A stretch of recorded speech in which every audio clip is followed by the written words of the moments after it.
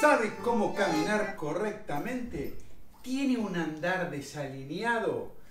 Como dice la canción, caminar, caminar, nunca para atrás mirar, siempre sonreír y olvidar que hubo que partir. Aviso de responsabilidad, aviso de responsabilidad. Bienvenidos mis queridos kinéticos y kinéticas a Kines Salud TV, donde el movimiento es salud y la salud es vida. Estamos filmando desde Buenos Aires, Argentina, en la casa de mi familia. Jerry vino con nosotros. Estamos filmando el primero de enero del 2020, pero este video seguramente va a salir más adelante. Bien, en este video vamos a ver diferentes formas de caminar apropiadamente, no apropiadamente, correctas e incorrectas. Comenzamos. ¿Usted sabe cómo caminar correctamente? Siempre dicen que caminar es bueno. Bien, eh, pero lo importante no es cuánto caminamos, sino cómo caminamos. ¿Estamos alineados? ¿Estamos desalineados? Porque si caminamos en forma desalineada, en realidad a la larga nos estamos perjudicando. Por lo tanto, vamos a mostrar diferentes formas correctas e incorrectas de caminar. Vamos a hablar un poco sobre el caminar. El caminar es un buen ejercicio, pero hay que aprender a caminar. Hay que saber caminar. En general, el caminar es un ejercicio incompleto. Tenemos el caminar y el correr. En el caminar hay un pie siempre en el piso. Siempre va a haber, en cambio en el correr hay un momento en que los dos pies están en el aire, por lo tanto hay impacto. En general, cuando caminamos, vamos a sacarle, acá se escucha el tráfico, se escucha todo, los brazos se mueven en este sentido, unos 30 grados, y ya lo expliqué eso en mi video de ejercicios de tango. ¿sí? Y los pies, este, este, es el hombro, y a nivel de la cadera, que también, que también pueden ver mi video de cadera, ¿dónde está la cadera? La cadera se mueve en el mismo plano unos 30-45 grados. O sea que en sí el movimiento es un poco incompleto. Siempre estamos haciendo el mismo movimiento en este sentido.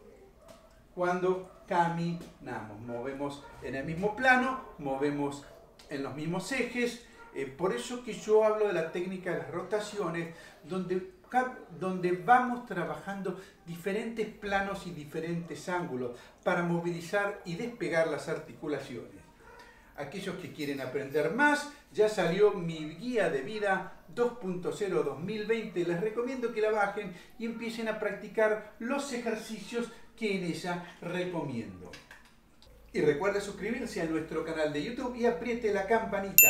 Síganos en el Facebook, síganos en Instagram, síganos en Twitter. La cuenta de Twitter es nueva. Cuando hablamos de caminar, a mí me gusta mucho observar cómo caminan las personas y ver cómo trabaja la biomecánica del cuerpo, porque en el fondo es un problema siempre biomecánico. Vamos a ver una forma de caminar que las personas realizan frecuentemente y que es en rotación externa de caderas. Si las caderas están rotadas hacia afuera, la punta de los pies se van hacia afuera. Vamos a corrernos. Caminado en rotación externa. Primera forma. Charles Chaplin, Carlitos Chaplin. ¿sí? Esto es caminar en rotación externa. Los músculos rotadores externos terminan contracturándose y los rotadores internos se estiran demasiado. Puede estar acompañado por una lordosis o por, una, eh, por un aplanamiento, por un aplanamiento de la columna lumbar. Esta forma de caminar la considero incorrecta. Otra cosita más. Esta forma de caminar es muy frecuente en las bailarinas de ballet cuando están practicando. Rotación externa. Por lo tanto, hay que rotar hacia adentro las caderas, rotar hacia adentro las caderas y el pie llevarlo más hacia adentro. El pie hacia adentro. Para poner los pies un poquito más en paralelo. Generalmente la desviación de los pies es unos 15-20 grados hacia afuera, para que esté un poquito más correcta. Bien, hoy estamos con un atuendo muy informal porque estuvimos trabajando acá en la casa un poquito, así que disculpen la presentación. Jerry miraba como yo trabajaba, él siempre es tan servicial. Muy bien, vamos a ver otra forma de caminar. Eh, estas son formas muy comunes que yo veo cuando estoy caminando, cuando veo a la gente que corre, que camina. Es los pies de cowboy. Y esto lo he mostrado en mis videos de rodilla los pies de cowboy. ¿eh?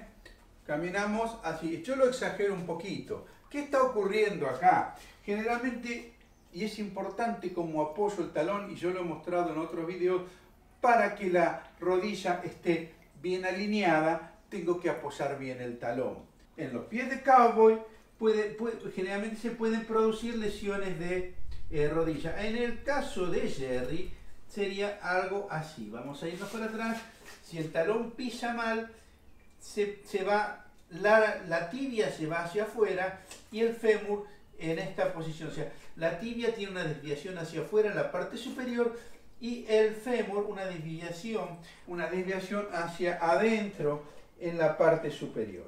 ¿Eh? O sea que se va la tibia hacia afuera, la rodilla hacia afuera y el fémur tiene esta inclinación como vemos acá ¿eh? en esta posición generalmente está debida mayormente a cómo voy apoyando el talón y produce lesiones de rodilla.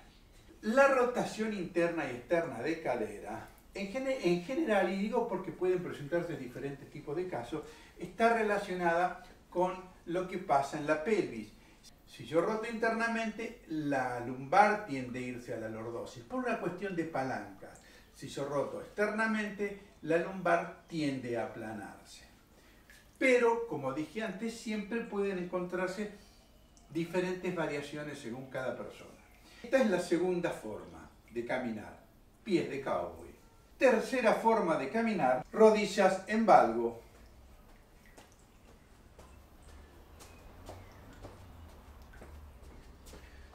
En este caso, el talón estaría desviado en esta forma, la tibia se va hacia, la parte superior de la tibia y la rodilla se van hacia adentro y se tocan y se llama knock knees. Quiere decir que las rodillas se golpean. Yo lo exagero un poco, pero puede haber diferentes variaciones según las personas, diferentes angulaciones. En esta forma, los aductores están contracturados, mientras que en la rodilla de cowboy los aductores están elongados, en el knock knees los aductores están contracturados. Y si le va gustando el video, pónganos un me gusta. Para trabajar siempre es importante concentrarse en el talón para empezar a abrir la rodilla si tengo los knock knees o cerrar las rodillas y tratar de juntarlas si tengo los pies de cowboy, las piernas de cowboy del vaquero. El cowboy es el vaquero. Bueno, ya dijimos lo que pasa en los miembros inferiores cuando vamos caminando en rotación externa, pies de cowboy o rodillas en valgo. Pies en posición neutra, ni rotados externamente, ni rotados internamente, que esta también es una forma de caminar, el chueco, que llamamos chueco, con la rotación hacia adentro. Entonces tenemos rotación de cadera hacia afuera, rotación de cadera hacia adentro. El típico chueco. Tenemos que buscar la cadera al medio, con los pies rectos o un poco desviados hacia afuera. A ver, cuéntenos cuál es su forma de caminar. ¿Se ha identificado con algunos de estos patrones de caminar? Cualquier exageración de esta forma de caminar, vas a ver a su kinesiólogo y empezar a corregirlas porque va a empezar a producir artritis. Es como llevar un auto con una rueda desalineada. Va a empezar a desgastarse en forma incorrecta. Así que vea a su kinesiólogo o kinesióloga, que es su mejor amigo o amiga. Eso es todo por hoy. Acá estamos con Jerry. Ahora les vamos a mostrar los animales que hay en esta casa. Acá el gato lo está mirando Jerry porque no lo conoce muy bien. Este creo que se llama Pepe. Así que muy bien, gatito. Miau, miau. Tenemos tres perros y dos gatos acá. No se pierda los próximos videos de cómo caminar correctamente. Y recuerde suscribirse a nuestro canal de YouTube y apriete la campanita. Síganos en Facebook, síganos en Instagram, síganos en Twitter. La cuenta de Twitter es nueva.